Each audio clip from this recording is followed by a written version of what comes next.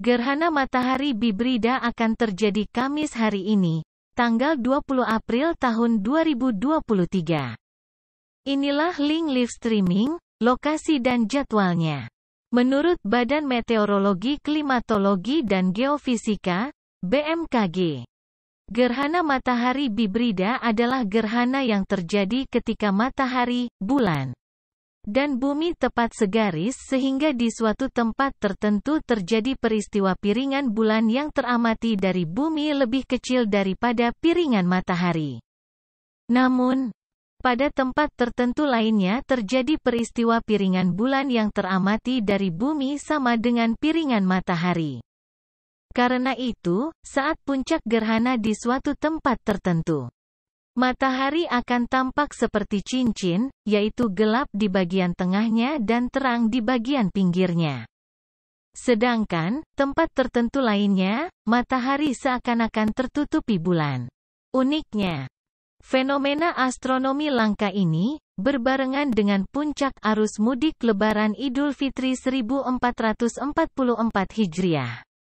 Anda jangan ambil risiko melihat langsung gerhana matahari Bibrida dengan mata telanjang. Bahayanya cukup serius, bisa menimbulkan kebutaan. Para ilmuwan menyarankan agar tidak melihat langsung ke langit saat terjadi gerhana matahari Bibrida meski hanya beberapa detik saja.